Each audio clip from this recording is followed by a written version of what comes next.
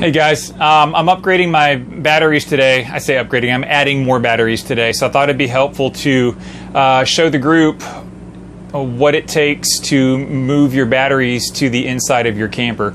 So I'm just going to give you a brief overview here of the steps involved in that.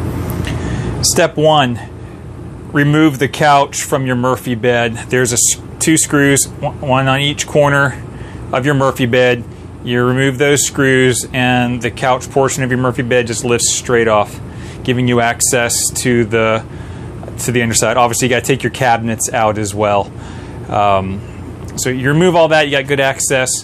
What you'll find underneath your bed is the controller for your slide out, and those wires are entering from underneath through a hole that's already in your camper. It's full of foam. You're going to have to cut that foam out and then replace it with some more of the great stuff expanding foam when you're done with the with the job. Um, a couple things to keep in mind. You have to make sure that you're putting sealed batteries if the batteries are going inside of your camper. You cannot put a standard deep cycle lead acid battery inside those batteries off gas and it's bad for you. So you got to have a sealed lithium battery like the Battleborn that I have here or a Lion Energy or you know some form of sealed battery whether it be a lithium or a um, sealed AMG um, deep cycle battery. So that's the first thing keep in mind is have the right batteries. Number 2, take your couch off. Number 3, take the foam out from that hole right here. And now we're going to go outside and I'm going to show you um, what's required on the outside and underneath your camper as well.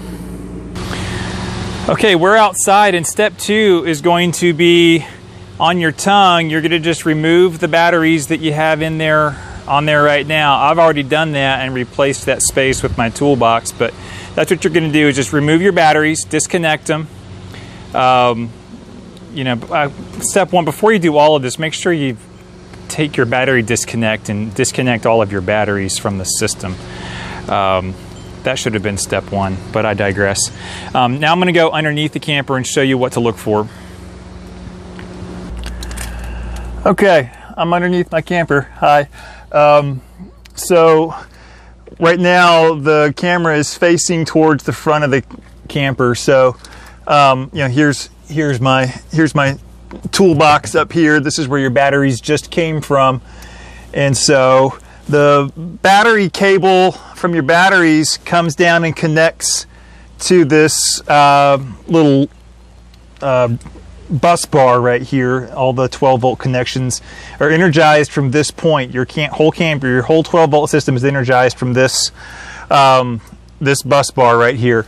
So all you're going to do is remove your battery cable off of this bus bar and then run it up into your underbelly. You'll see where the wires all come up into the underbelly over here.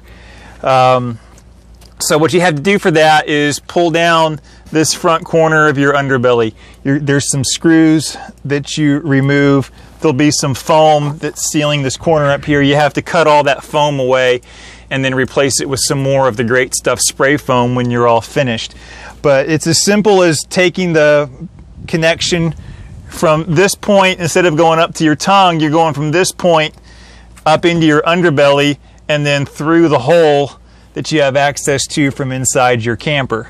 And then once you have that wire rerouted up inside there, you just screw your underbelly back up and get some more of that great stuff foam and spray it in there to keep it all sealed up again. Um, but it's not that difficult. It seems intimidating, but it's actually not that hard. Okay, so once you've got your batteries, uh, you know, back up through this hole here, um, all you got to do is connect them in the same way you had it connected on your tongue, just positive to positive, negative to negative. If you've got two batteries, you're just gonna, you know, jumper them in parallel like you had them on your on your tongue as well. Um, you won't have to deal with all this stuff like I've got here. This is just for my solar setup, um, for my inverter and the battery monitor and all that stuff. Yours will just be really simple. You just run the wire up through the hole, connect your batteries in here instead of connecting them out on your tongue. Um, I've got the um, batteries held in place. They're just sitting here, and what I've got is just some strips of wood here to keep them from sliding around. Um, the weight of the batteries is enough in and of themselves to keep them in place and just keeping them from sliding there. So um, that's the overview of what it takes to put your batteries inside your camper. I hope this helps. And if you want to tackle this project, I hope you feel empowered to go do it. Have some fun.